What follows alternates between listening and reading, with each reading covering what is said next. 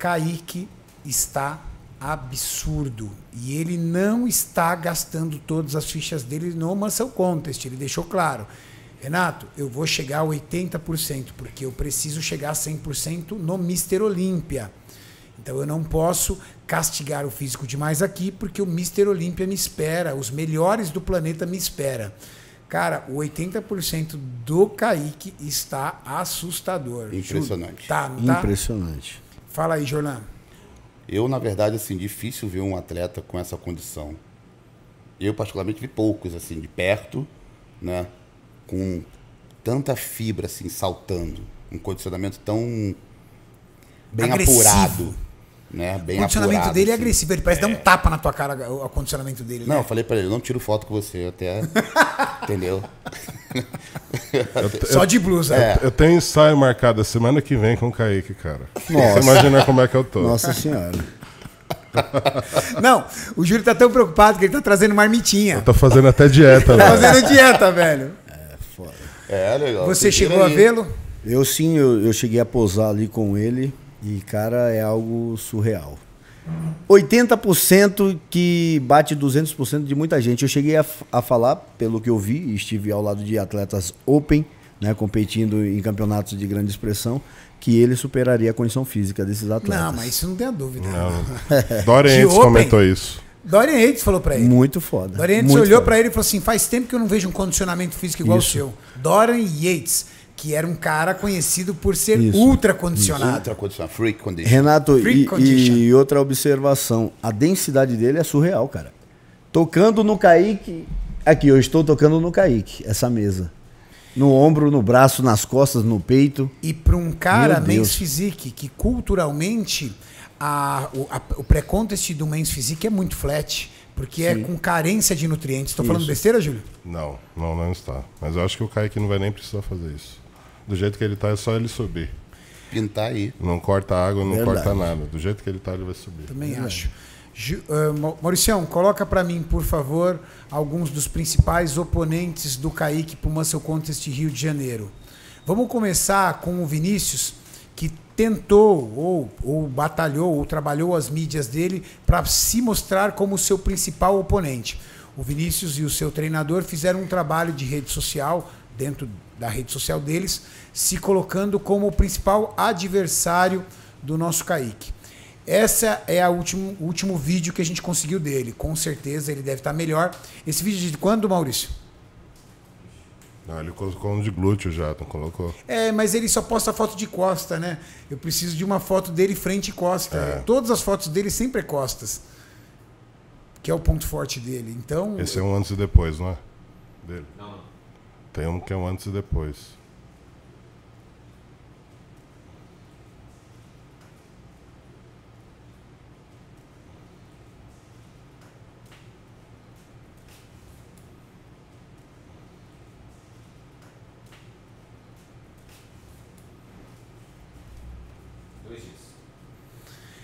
de dois dias atrás, bem recente. Esse vídeo é de dois dias atrás. Bom, vendo essa condição física e vendo a condição do Kaique, opinião do Júlio primeiro. Não dá confronto. Jorlan. É, não, é difícil comparar porque o Kaique tá muito na frente. Mas o atleta tá bem, né? É, ele tá bom. Tá com uma condição ok, até pelo, pelo tempo que falta, né? Porque ainda vai passar por um processo de desidratação, depredação e etc e tal.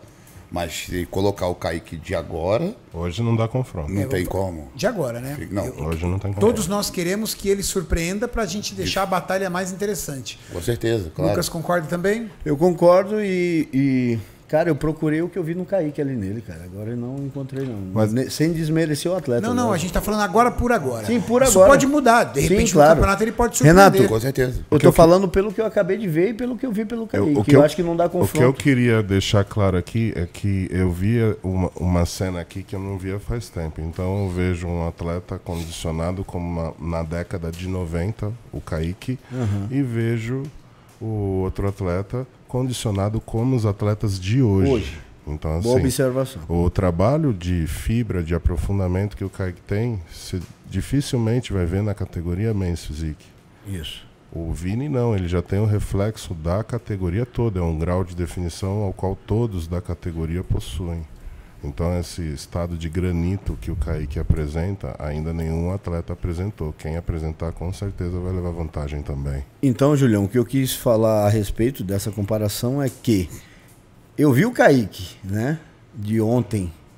Eu procurei isso olhando aqui agora. Você, essa observação é, não dá para não consegue, não, não consegue encontrar uma condição muito superior. Nós não vamos entrar nesses detalhes porque eu não gosto de ficar entrando em ajuste de protocolo de dieta e de atletas. Quem tem que entrar nesse protocolo é esse. Mas eu e o Júlio andamos bem próximos do Kaique. Não sei se o Jorlan chegou a dividir isso com ele, mas a gente sabe que o protocolo dele de preparação é o básico do básico do básico, né? Comida sem tempero, o básico do básico não tem comida cara, não é. Ele come é arroz e frango ou arroz e peixe. Ele faz a primeira de aveia. O resto ele manobra a quantidade de arroz, mais arroz menos arroz. É. Ele coloca peixe e frango. e frango. Acabou. Só que é o seguinte, ele é muito hardcore, cara. Ele pesa o sal e ele coloca o sal em cima da comida. É o único tempero. Ele não usa nenhum tempero, não usa açafrão, não usa pimenta do reino, não usa nada. Ele cozinha o peixe na água, cozinha o frango na água, assim, na água, assim, ó, na frigideira com água. O arroz ele cozinha na água e ele joga o tempero em cima. E ele disse que isso para ele é uma forma de ele ficar cada vez mais condicionado mentalmente. Ele fala que quanto mais ele aperta a dieta, mais focado o treino dele é e mais forte ele fica na preparação. Ele fala que ele não, não flexibiliza a dieta porque aquilo não faz bem pro foco mental dele. Isso é muito bom, né? Se alguém chegar e falar assim, tá vendo esse molho aqui? Ele não tem nada, não vai mudar a tua vida. Eu juro para você, eu provo cientificamente para você que isso não vai provar. Coloque em cima, não, não, não, não, deixa meu sal. Ele é muito hardcore. Não tá num papel, não tá no programa, não faço. Não faço. Eu queria que todos os atletas fossem assim. E detalhe, hein? Se nós falarmos sobre protocolo de ergogênicos dele, pelo amor de Deus. Não, o povo não sabe nem metade. Não sabe nem metade. GH nunca ouviu falar. Não nunca sabe nem falar. o que, que é. Nunca GH. ouviu falar de GH. Renato, uma boa você Nunca ouviu abordar falar. E isso. detalhe, tá? E detalhe, nunca ouviu falar, e não é só por uma questão financeira. Ele fala que o corpo dele ainda não pediu. Ele falou: não, não, não, não. Tá tudo bem assim. Não vou mexer, não é a hora. Ele falou isso na nossa cara. É. Falou, Pô, mas não vai. Não, não é uma questão só de investimento. É uma questão de necessidade. Eu Necessidade. cheguei até aqui com isso. Então tá indo bem. No momento que eu perceber que não, haver, não haverá mais resposta, aí eu posso mudar. Mas é isso aqui, ó, isso aqui.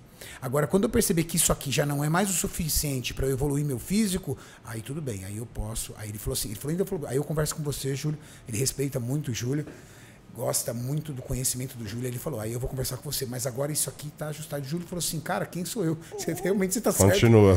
Continua, tá falou fazendo. certo. Eu vou mais longe, Renato. Essa questão. Sempre eu vou mais longe, né? Mas você é o único que pode ir mais longe. O cara da distância. Observando o Kaique e o Eduardo, o que eu posso dizer é que quem acha que dentro do nosso esporte existe favorecimento, só teve os dois que conseguiram chegar lá e os dois não tiveram favorecimento de ninguém. Nenhum.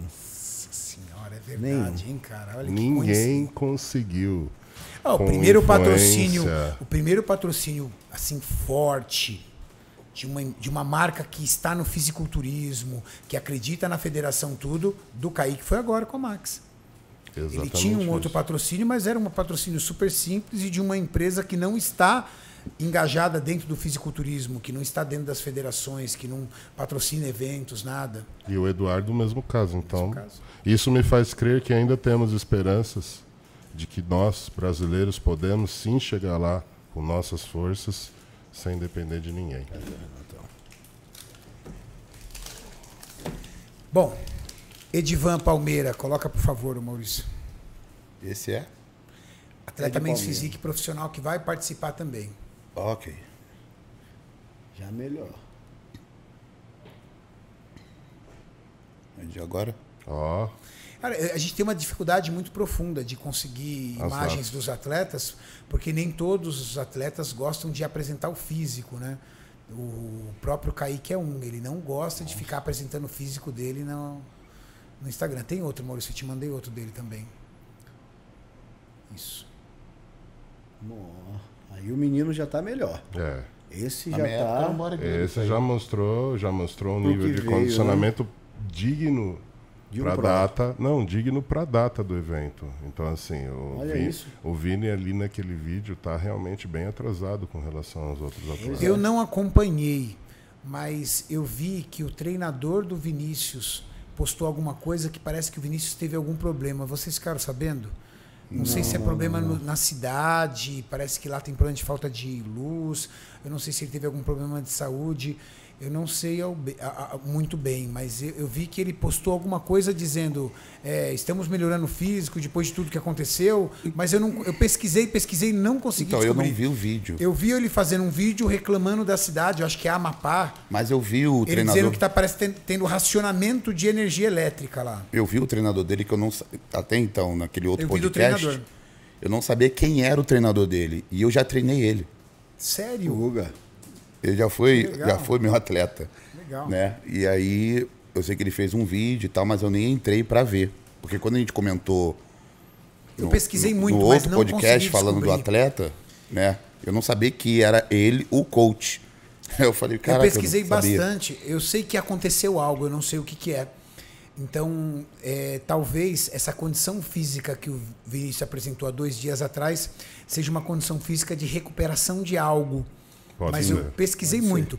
Mas a- realmente a condição física do Vinícius, pelo menos em vídeo, aparenta ser um pouco menor do que a condição física do Edivan. O Edivan aparenta ter uma condição física muito melhor. Eu acredito no Edvan Top 3.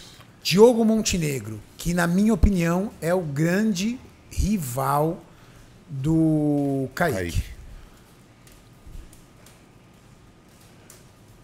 Diogo, infelizmente, a gente também não consegue. O Diogo não gosta de ficar mostrando o físico. Eu dei destaque para essa foto porque é o grande ponto forte do Diogo. A gente não conseguiu encontrar nenhum vídeo atual do Diogo e não adianta pegar vídeo antigo, porque vídeo antigo não dá certo. Tenta ampliar aí, Maurício, as duas fotos, por favor. Diogo de frente, Diogo de costas. Esse é o Diogo de frente, um frame muito bonito, né? Bonito. Bonito. Fala aí, Julião. Olha, o Diogo, ele sempre chega bem nos eventos. É difícil ver ele não chegar aquela bem. Ainda frente. mais no evento nacional. Tenho certeza que ele vai ser um, um desafiante à altura para o Kaique e vai tentar destroná-lo. né? Então, assim, eu acredito que o Kaique ainda seja o campeão. Mas se o Kaique vacilar, o Diogo passa o carro. É, o Diogo é muito bom, cara. O Kaique não pode errar porque Não. ele realmente tem um grande adversário. De Exato. onde, e é bom. Não dá porque pra vai, menosprezar. Não dá pra menosprezar. E é bom, porque vai enobrecer o combate. Sim. Isso é legal.